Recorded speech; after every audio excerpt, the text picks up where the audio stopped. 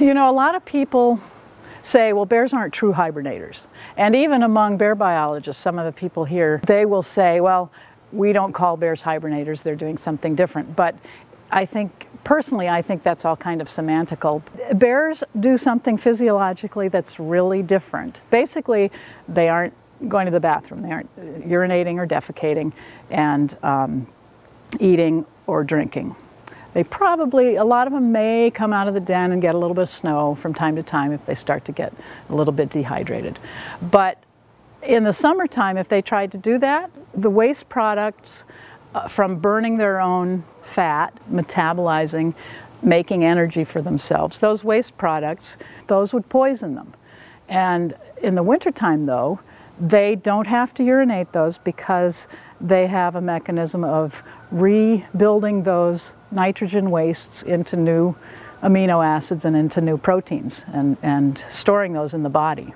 When they're hibernating, um, okay, their heart rate goes quite low, their body temperature drops, um, oh, five degrees to 10 degrees, something like that, depending on things. And so um, they just, they try to conserve energy, they try to conserve water, that's very important.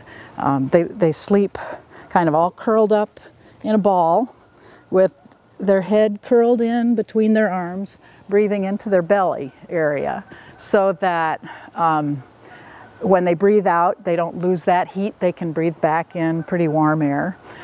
If they breathe out moisture, they can breathe a lot of that moisture back in and conserve that.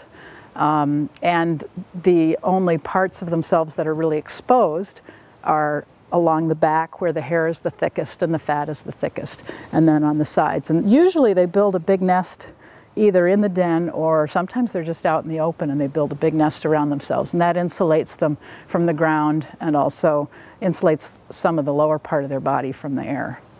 And how is that different than something else? I mean, well, the, the, some of the animals that they call true hibernators, like ground squirrels, and what's different there is that their body temperature drops way down, almost to freezing um, in, in many cases, and their, um, their breathing and heart rate also drop way down.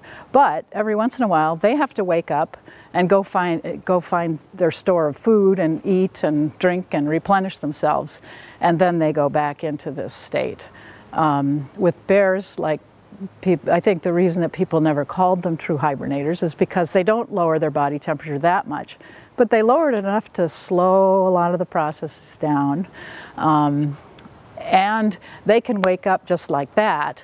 If you approach the den, they can, usually when we go to the dens, um, they'll be uh, kind of looking at us. It's not like they're dead to the world. They'll be looking and wondering what's going on. Um, and if and, and they're quite different in personality. Some of them will actually occasionally get up and run away, whereas one of the true hibernators can't rouse itself that fast. So.